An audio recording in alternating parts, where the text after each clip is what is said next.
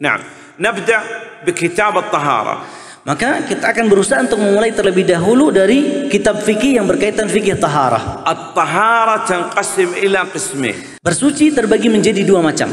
لابد أولا تطهر الباطن Ya. Yang pertama harus kita sucikan adalah hati kita.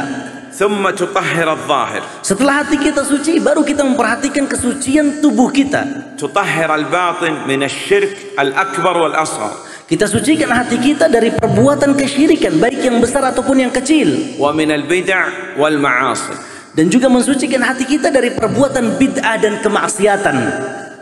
إذا طهرت الباطن بعد هذا تطهر الظاهر Setelah kita berusaha untuk mensucikan hati kita, baru datang setelahnya pensucian terhadap tubuh kita. طهارة الظاهر عندنا إما طهارة حدث يعني أكبر وأصغر أكبر بال- بالاغتسال وأصغر بالوضوء هذا الطهارة نسميها طهارة حدث Berkaitan tentang bersuci secara zahir, itu terbagi menjadi dua bagian juga. Ya, bagian yang pertama eh, tentang eh, bersuci dari hadas. Ya, bersuci dari hadas ini terbagi menjadi dua. Ada hadas besar dan cara bersuci adalah dengan mandi. Adapun yang kedua adalah hadas kecil. Ya, hadas kecil ini cara bersucinya adalah dengan wudhu. أكبر الحدث الأكبر حدث. Labud lahu min al-iqtisal. Hadas besar ini diwajibkan untuk mandi. Misal khuruj al-mani misal. Seperti keluarnya air mani misalkan. Naam, wa hadas asghar labud lahu al-wudu misal law kharaj minhu rih aw bawl aw ghaid. Adapun hadas kecil ya yang mewajibkan untuk wudu ini seperti keluarnya angin ya air kecil ataupun air besar. Al-thani tahara min an-najasa.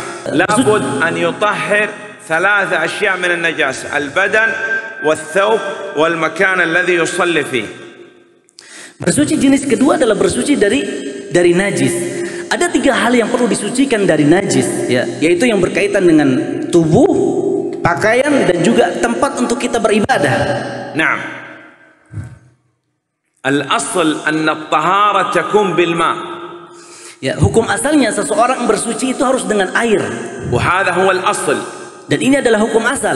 Wal far' at-tahara bit-turab yani tayammum. Adapun hukum cabang ya jika seandainya tidak mungkin untuk menerapkan yang eh, hukum dasar tadi maka adalah bersuci dengan cara bertayamum. Alma yang qasim ila qismin, tahur wa najis. air terbagi menjadi dua macam. Ada air yang tahur, suci dan mensucikan dan ada air yang dinamakan dengan air najis. Naam. النجس الماء النجس هو الماء الذي تغيرت أحد أوصافه الثلاثة إما تغير برائحة أو بطعم أو بلون. نعم ثلاثة أشياء. إذا غيرت الماء وأصبح نجسا. نعم إما برائحة أو ذوق أو آه أو لون. نعم. Dinamakan dengan air najis. apabila salah satu sifat di antara tiga sifat air ini telah berubah baik itu baunya rasanya ataupun warnanya jika salah satu dari sifat air ini berubah maka air ini hukumnya menjadi air yang najis nah wa yudhkar huna fi at-taharah adab al-haja. dan di dalam uh, mohon adab qada al-haja. Eh, tadi air berubah eh, ketika salah satu sifatnya berubah jika dia bercampur dengan eh, benda yang najis. Kemudian kata beliau hafizahullah taala, setelah itu baru kita akan membahas tentang adab adab qada al-hajah. Adab tentang buang hajat. Wa والاستنجاء والاستجمار يعني إذا قضى الحاجة لابد أن ينظف المكان إما باستعمال الماء أو استعمال الحجارة أو المناديل نعم Di dalam etika buang hajat ini dibahas tentang istinja dan istijmar, yaitu cara mensucikan tempat keluarnya najis. Ya. Dan ini tidak lepas dari dua cara. Cara yang pertama adalah dengan istinja, yaitu menggunakan air. Dan cara yang kedua adalah dengan istijmar, yaitu menggunakan batu ataupun eh, tisu نعم أو حجارة مثلا atau menggunakan batu. تمام عندنا أيضا يذكر في كتاب الطهارة باب الحيض والنفاس والاستحاضة Di dalam kitab Taharah juga dibahas pembahasan tentang haid, tentang nifas, dan juga tentang darah istihadhah. Nu'id marra ukhra kitab at-tahar. Baik, kita ulangi sekali lagi pembahasan seputar kitab eh, uh, taharah. At-taharah tanqasim ila qismain. Uh, eh, taharah terbagi menjadi dua macam. Taharat batin wa taharat zahir. Taharah ya tentang uh, uh, mensucikan hati dan juga mensucikan zahir. الباطن من الشرك والبدع والمعاصي لابد تطهر الباطن Ya, eh, mensucikan hati yaitu dari kesyirikan, perbuatan bid'ah dan juga dari kemaksiatan. طهارة الظاهر قلنا على قسمين حدث أكبر وأصغر ونجاسة نعم Adapun taharah eh, zahir maka ini terbagi menjadi dua. Yang pertama berkaitan dengan hadas dan hadas ini ada hadas besar dan hadas kecil dan bagian yang kedua yaitu taharah yang berkaitan dari eh, na- najis. نعم النجاسة قلنا لابد إزالة النجاسة عن البدن والثوب والمكان Ya, kata beliau, kita harus mensucikan eh, najis itu dari tiga hal, dari pakaian, tempat beribadah, dan juga Nah. Dari dari tubuh, dari dari dari tubuh kita eh, mensucikan juga dari pakaian dan juga tempat beribadah. At-tahara al-asl takun bil ma. Ya. Hukum asalnya bersuci itu dengan air. Wal far' huwa at-turab yani at-tayammum. Dan cabang dari uh, uh, bersuci dengan air uh, yaitu bertayamum. Jika saya tidak mampu ber, uh, dengan air, maka dengan bertayamum dengan debu yang suci. Al-ma' yang yanqasim ila qismain. Air terbagi menjadi dua. Tahur wa najis suci mensuci, suci dan mensucikan, ya, dan juga air yang najis. هذا كتاب الطهارة Ini pembahasan dan penjabaran seputar kitab taharah. الثاني عندنا كتاب الصلاة Pembahasan yang kedua seputar tentang salat. الصلاة عندنا تنقسم إلى قسمين فريضة ونافلة Pembahasan tentang salat terbagi menjadi dua bagian. Yang pertama tentang salat fardu, yang kedua tentang salat sunnah. صلاة الفريضة هي الصلوات المفروضة الخمس Salat fardu tentunya pembahasannya seputar salat lima waktu. Wasalat al-jum'ah. Dan juga masuk di dalam salat Jum'ah. Nah, Amma salat al-nafilah. Adapun salat sunnah. Indana mathalan as-sunan Rawatib. Uh, eh, di dalamnya dibahas tentang sunnah-sunnah rawatib. Wa indana salat eh, al-witr. Dan juga dibahas tentang salat witir. Qiyam al-lail. Salat malam. Salat al eh, الضحى. صلاة الضحى. الصلاة لله هكذا يصلي ركعتين. صلاة مطلق. مطلق نفل مطلق. إيه صلاة آه، سنة مطلق. نعم. آه، تحية المسجد وما إلى ذلك. هذا كله تذكر هنا بالتفصيل. dan صلاة سنة تحية المسجد. dan صلاة صلاة سنة lainnya akan disebutkan secara terpisah. Salat al-idain Masuk juga salat Idul Fitri dan صلاة Idul Adha, الاستسقاء salat istisqa, صلاة الخسوف salat kusuf وغير هذا dan salat-salat lainnya. نعم يذكر في باب الصلاة الإذان والإقامة Di dalam bab salat juga disebutkan pembahasan tentang adzan dan iqamah, شروط الصلاة tentang syarat-syarat salat, أركان الصلاة tentang rukun-rukunnya, واجبات الصلاة kewajiban-kewajiban salat, سنن الصلاة sunnah-sunnahnya, مبطلات الصلاة dan pembatal-pembatal salat. يذكر adab al-masjid wa ma ila dhalik. Disebutkan juga di dalam uh, bab salat tentang adab uh, mas, mem, uh, adab memasuki masjid dan yang lainnya. Kitab ba'da hadha al-janaiz. Setelah itu penjelasan seputar kitab janaiz. Kitab al-janaiz yadhkuru fihi tajhiz al-mayyit Kitab Janaiz itu dibahas di dalamnya tentang uh, tajhiz al-mayyit yani taqsil Ya. Nah, uh, tentang tata cara uh, tentang tata cara memandikan jenazah. Mengkafaninya, mensolatinya, dan tata cara mengkuburkan mayit. Dan masuk juga pembahasan tentang uh, ziarah kubur. Setelah itu masuk pembahasan tentang seputar zakat. Zakat terbagi menjadi dua bagian zakat farz wa zakat nafil. Ada zakat wajib, ada zakat yang sunnah. Zakat wajib al-fard tanqasim ila qismain. Zakat yang hukumnya wajib itu terbagi menjadi dua bagian. Zakat mal wa zakat badan. Zakat eh, berkaitan dengan harta dan zakat yang berkaitan dengan eh, badan. Zakat al-badan hiya zakat al-fitr في عيد الفطر Zakat yang berkaitan dengan anggota badan adalah zakat fitrah dan itu dilakukan atau dibayar ketika Idul Fitri. زكاة المال أربع أشياء Adapun zakat harta itu ada empat hal. الأول Yang pertama الذهب والفضة وما يقوم مقام الذهب والفضة مثل العملة الورقية الآن ريال جنيه دولار نعم emas dan perak dan eh, yang mewakili emas dan perak yaitu seperti eh, seperti mata uang ya mata uang seperti r- misalkan eh, real atau junai mata uang eh, Mesir ya dan yang semisalnya النقدين الذهب والفضة هذا الأول Ya, intinya yang pertama yang berkaitan dengan zakat harta yang harus dizakati adalah emas dan perak الثاني الخارج من الأرض يعني الحبوب والثمار الحبوب مثل القمح والشعير والثمار مثل التمر Zakat yang yang perlu dizakati adalah yang kedua yaitu sesuatu yang tumbuh dari dari permukaan bumi, yang, yang tumbuh dari bumi dan ini terbagi menjadi dua, biji-bijian ataupun buah-buahan. Contoh dari biji-bijian adalah seperti eh, gandum. Adapun contoh dari buah-buahan الثمار مثل مثل التمر contohnya adalah kurma. الخضروات الفواكه ليس فيها زكاة Adapun sayur-sayuran dan buah-buahan yang lain itu tidak ada zakatnya.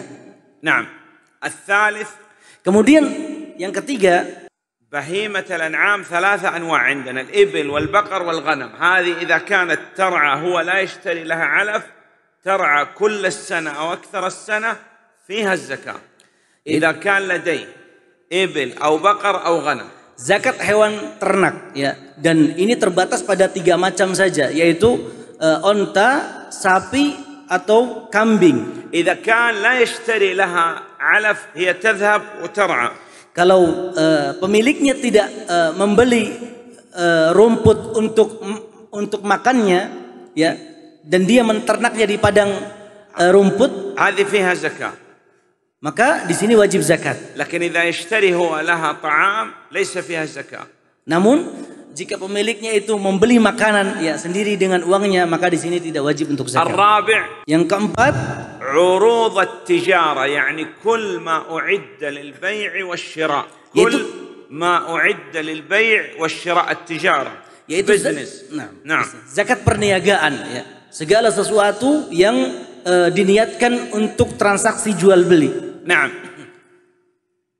مثلا هذا الشيخ عنده سوبر ماركت contohnya misalkan ya beliau memiliki supermarket يبيع فيه الملابس dia menjual pakaian مواد غذائية eh, menjual eh, bahan-bahan makanan bahan-bahan makanan جوالات أجهزة إلكترونية menjual gadget ataupun eh, alat-alat elektronik lainnya سيارات menjual mobil misalkan طائرات menjual pesawat ملابس pakaian كل شيء أعد للبيع والشراء هذا فيه الزكاة semua item yang diniatkan untuk transaksi jual beli maka di sini wajib zakat نعم تفصيل هذا يأتي الآن نريد تفهم أن الزكاة تنقسم إلى قسمين Adapun membahas seputar perinciannya akan akan kita jelaskan. Intinya adalah yang penting kita paham bahwasanya zakat itu terbagi menjadi dua macam.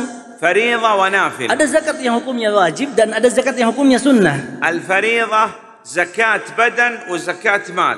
Zakat yang hukumnya wajib itu juga terbagi menjadi dua macam. Ada zakat uh, zakat yang berkaitan dengan anggota tubuh dan ada zakat harta. Zakat al badan hiya zakat al fitr. Zak... Fi Eid al fitr alladhi ba'da Ramadan. Zakat yang berkaitan dengan anggota badan adalah zakat fitrah yang ditunaikan ketika hari raya Idul Fitri setelah pelaksanaan bulan puasa Ramadan.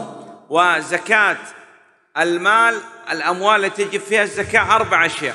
Adapun zakat harta ya, zakat harta ini terbatas pada uh, empat macam saja. Al-dhahab wal fidda wal umla al-waraqiyah Eh, emas dan perak dan yang mengambil hukum emas dan perak seperti mata uang hubub thimar. biji-bijian dan juga buah-buahan. Al-ibil wal baqar wal ghanam idza kanat tar'a la yashtari laha 'alaf. Zakat uh, hewan ternak yaitu terbatas pada onta sapi dan kambing dengan catatan ya pemiliknya itu tidak membeli makanan dari uangnya sendiri. Wa tijarah. Dan zakat yang keempat adalah zakat perniagaan. وعندنا زكاة نافلة Juga ada pembahasan tentang zakat yang hukumnya sunnah. يتصدق هكذا لله سبحانه وتعالى Ya, seseorang bersedekah karena Allah Subhanahu wa taala. إلى من تدفع الزكاة Kepada siapa zakat ini dibayarkan? من تدفع لهم الزكاة ثمانية أصناف Ada delapan golongan yang mereka berhak mendapatkan zakat. الفقراء Orang-orang fakir, والمساكين orang-orang miskin, والعاملين عليها على الذين يوليهم السلطان para amil zakat yang telah ditetapkan oleh pemimpin, pemerintah. والمؤلفة قلوبهم يعني نتألفهم حتى يدخلوا في الإسلام نعم Ya, Orang-orang yang dijinakkan hatinya dengan tujuan agar mereka masuk atau kokoh di dalam agama Islam. أو أنهم حديث عهد بإسلام Atau mereka orang-orang yang baru masuk ke dalam agama Islam. al-gharimin man alaihi dain. Dan juga dibayarkan kepada orang-orang yang memiliki hutang. Wa fi uh, wal uh, wa fi riqab fi riqab yani man kan abd nusa'idu hatta na'am. Dan juga dibayarkan kepada kepada budak ya yang berusaha untuk membebaskan dirinya maka kita kasih bagian dari zakat dengan tujuan agar dia bisa membebaskan dirinya dari perbudakan. وابن السبيل هو الذي انقطعت به السبل عن بلده. يعني خرج إلى بلد مثلا خرج إلى مكة هو من أندونيسيا خرج إلى مكة وانقطعت به السبل ليس عنده مال يستطيع يرجع إلى أندونيسيا مثلا. Nah, hadha ibnu sabil. Kemudian ibnu sabil, yang dimaksud dengan ibnu sabil adalah orang-orang yang terputus dari perbekalannya sehingga dia tidak bisa kembali ke negara asalnya. Contohnya misalkan orang Indonesia yang pergi ke kota Makkah dan dia tidak uh, bisa kembali ke Indonesia karena kehabisan bekal, kehabisan uang, maka mereka juga diberikan zakat. Wathamin fi sabilillah yani al-jihad. Dan golongan yang kedelapan adalah uh, fi sabilillah yaitu orang-orang yang berjihad di jalan Allah. نعم بعد هذا الصيام Setelah itu pembahasan tentang puasa.